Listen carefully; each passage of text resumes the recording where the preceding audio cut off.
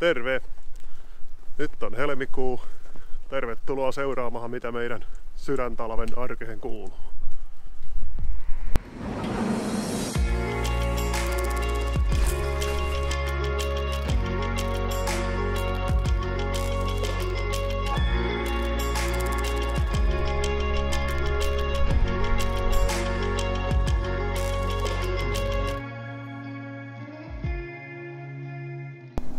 Sikatalous muodostaa meidän arjen rungon ympäri vuoden. Ja meillä on siis ensikkotuotantoa, eli me kasvatetaan testatut pienet hybridiporsaat, eli kahden rodun risteytykset täysikäiseksi. Ja ne tiineytetään ja myydään sitten muutama viikko ennen porsiista poristussikalvolle. Ja on tämä tiineytettävä ja tiine ensikko ehkä kaikista kotieläimistä sellainen herkin rehuhygienialle, eli se täytyy niin viljan viljelys huomioida.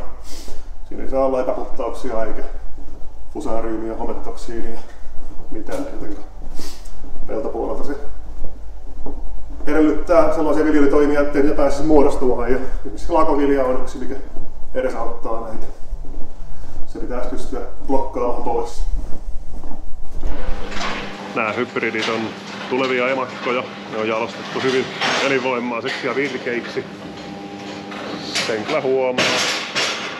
Meillä ei tarvitse olla kovin kesken yksinään, jos on seuran puutetta tai haluaa tuntia olevansa kovassa suosiossa, niin tuonne sekahan vaan.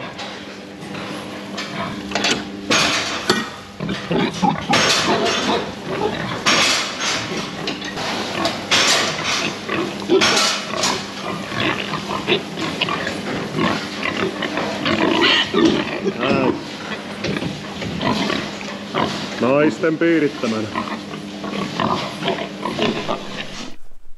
Syysviljojen osalta meillä on talvi erennyt ihan mukavasti, että maa kerkesi jäätyä ennen roudan tuloa, niin siellä ei pitäisi olla lumihomeelle eikä jääpolttojallekaan tässä vaiheessa painetta pahasti. Että tunnelmat on vähän kaksijakoiset sen puolesta, että ruisvehnä voi tosi hyvin, se kasvuaste on hyvin sellainen kuin se pitääkin olla. Ja, ja varastuminen oli tosi hyvää ja kaikki ennusmerkit on kohdallaansa, että Rukiin kanssa meillä oli vähän huonoa tuuria sitten, mikä, mikä harmittaa, että tämä sertifioitu siemen, mitä ostettiin, niin siellä itävyys olikin sitten 39 siemen toimittajan oman jälkikirjoituksen perusteella, eli sieltä oraista puuttuu yli puolet siitä, mitä pitäisi olla, että ne on tosi harvat, tasaisesti orastunut, mutta harvat, että siinä on tosi suuri torajyväriski ja, ja, ja särkymävaraa ei ole talven varalle yhtään, että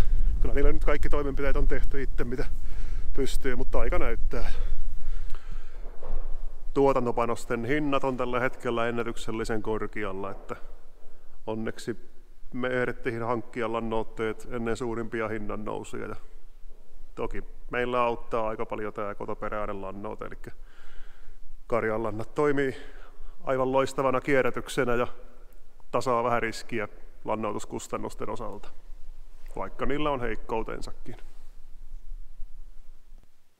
Peltoviljelypuoli on meillä vähän taka-alalla näin keskitalvella, että kyllä se takaraivos aina pyörii ja suunnitelmia vähän hiotahan, mutta perusparannukset on sellaisia, mitä on hyvä tehdä, kun maa on roudas, silloin ei kalusto tiivistä peltoa. Ja nyt oli lunta välillä niin paljon, että sinne jouduttiin nauraamahan lumilingolla kalkkiyhdistelmälle tilat ja ajourat, mitä pitkin levitettiin, mutta homma saatiin nytkin tehtyä.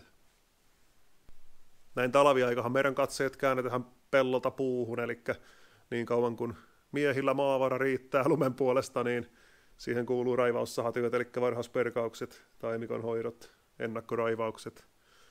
Sitten on aurattu ja jäädytelty, poljettu pohjia hakkuukoneille, että pystytään tehdä harvennushakkuita ja päätehakkuita. Ja nyt oli muutama oikein tällainen upottavan maan kohde, mutta ne on saatu tehtyä sen verran. Routaa onneksi saatiin.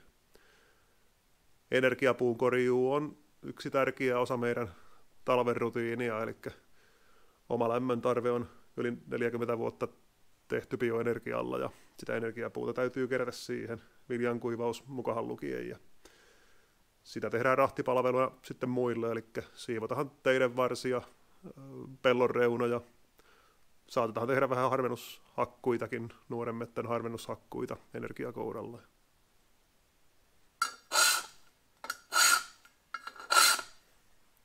Nähdään seuraavassa jaksossa.